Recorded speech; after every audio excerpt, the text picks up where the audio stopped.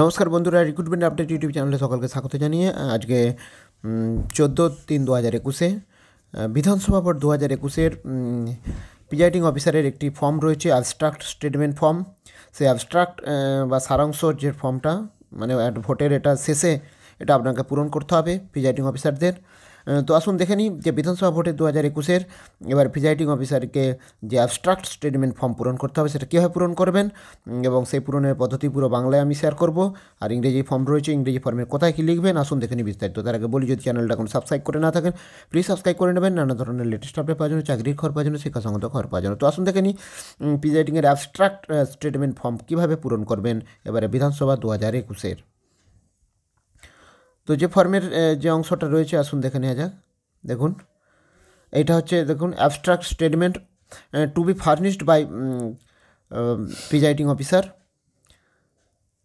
দেখুন, প্রথমে কি করতে হবে? এই ফর্মেটটা রয়েছে আমার কাছে, দেখতে পাচ্ছেন এটা হচ্ছে এই ফর্মের গেট আপটা এবং এই ফর্মের যেগুলো পূরণ করতে হবে। প্রথমে রয়েছে, দেখুন, এক number name number and name of the assembly constitution অর্থাৎ কোন বিধানসভায় আপনার ডিউটি পড়েছে, সেই নামটা দেবেন এখানে এবং নম্বর দেবেন।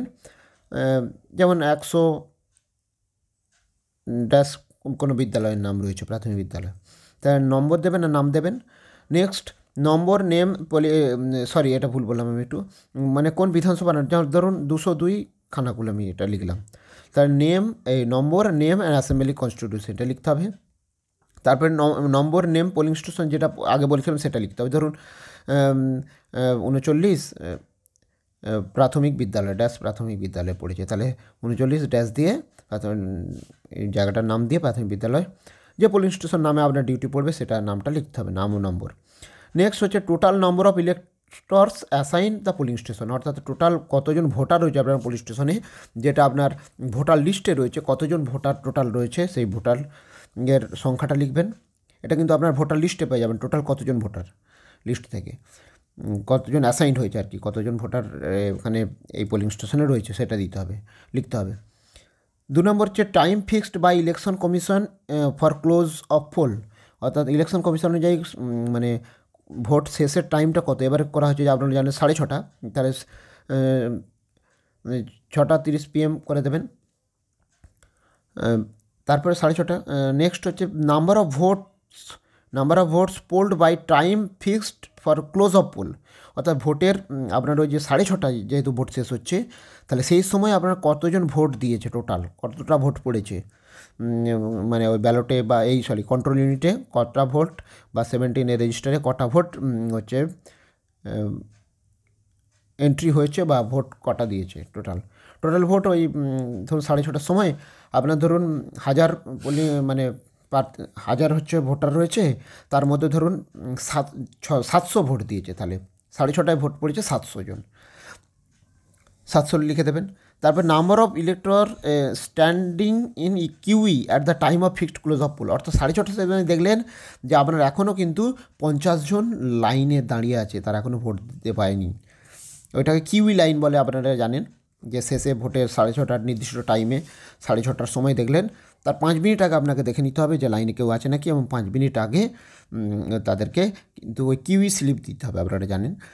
তো সেই নম্বর অফ ইলেক্টর ওই লাইনে সাড়ে ছটায় ঠিক কজন দাঁড়িয়ে রয়েছে, সেই সংখ্যাটা লিখে দেবেন। Number of slip issue set elector in queue. কতজন কিউই স্লিপ দেওয়া হয়েছে? ধরুন পঞ্চাশ জন দাঁড়িয়ে তাহলে পঞ্চাশটা কিউ স্লিপ লিখে দেবেন, পঞ্চাশ। তারপর number of voter actual polled by search elector. তাহলে ওই রকম ধরনের ভোট মানে কিউএ স্লিপে যাদেরকে দিয়েছেন, ধরো পঞ্চাশ হাজারকে দিয়েছেন ওরকম ভোট কতজন দিয়েছে actual number of vote actually polled by search elector ওই ধরনের ইলেক্টর কজন? তার মানে পঞ্চাশই হবে আপনার পঞ্চাশজনই ওই ধরনের ভোটার, ভোট দিবে। তারপর extra time sorry exact time of the which time at which the polled actual closed অর্থাৎ ভোট অ্যাকচুয়াল কখন শেষ হলো? কারণ সাড়ে ছটায় আপনার পঞ্চাশ জন লাইনে ছিল, সাড়ে ছটার মধ্যে সাতশো ভোট হয়ে গেছে আপনার। তারপর আর পঞ্চাশ জন আছে, তার মানে টোটাল আপনার ভোটটা শেষ হতে ধরুন, সাড়ে ছটার জায়গায় সাতটা বেজে গেল, আধ ঘণ্টা আরও লাগল। তাহলে actual time of the of court seven PM করবেন। Next total number of vote polled in the polling station by the time of actual close of poll অর্থাৎ ঠিক শেষে, অর্থাৎ অ্যাকচুয়াল যে টাইম সাতটায় শেষ হচ্ছে, তাহলে আপনার কতজন ভোটার ভোট দিল? তাহলে সাতশো জন আপনার সাড়ে ছটা পর্যন্ত ছিল, আর পঞ্চাশ জন কিউএ লাইনে ছিল। পঞ্চাশ জন কিউএ লাইনে ভোট দিয়েছে, তাহলে পঞ্চাশ প্লাস সাড়ে সাতশো সমান, এই সাতশো সমান সাড়ে সাতশো। সাতশো পঞ্চাশ জন আপনার টোটাল ভোট দিয়েছে। সাতশো পঞ্চাশ লিখে দিলেন। তারপর number of vote polled between the time of close of poll and actual close of poll তাহলে এখানে ভালো করে দেখুন।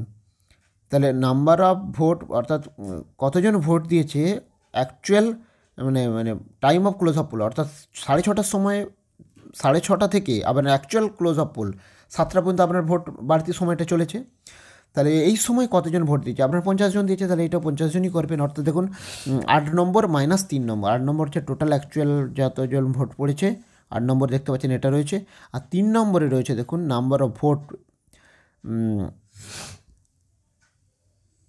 মাইনাস তিন নম্বর যেটা রয়েছে না তিন নম্বর কী বলছে? Number of vote polled by time fixed for close of poll অর্থাৎ সাড়ে ছটার সময় কতজন ভোট দিয়েছে।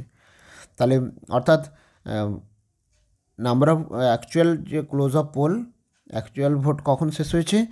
মানে সেটা মাইনাস মানে যে সাড়ে ছটার সময়।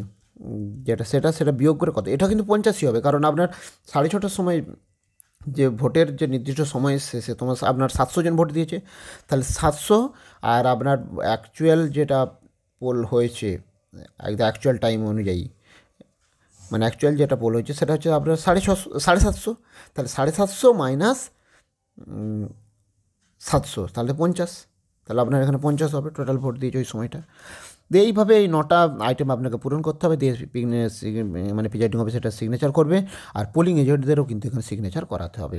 তাহলে এইভাবে আপনি অ্যাবস্ট্রাক্ট যে statement furnished by presiding officer এটাও কিন্তু পূরণ করবে এবং পোলিং এজেন্টদের অবশ্যই সিগনেচার করাবে এবং ডিস্টিংগুইশ মার্ক দিতে হবে প্রিজাইডিং অফিসারকে সিগনেচার করার পর প্রত্যেকটা পাতাতেই।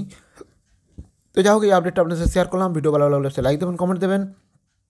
আর যদি চ্যানেলটা ওখানে সাবস্ক্রাইব করে না থাকেন প্লিজ সাবস্ক্রাইব করে নেবেন। ধন্যবাদ, ফিরে আসছি পরের আপডেট নিয়ে।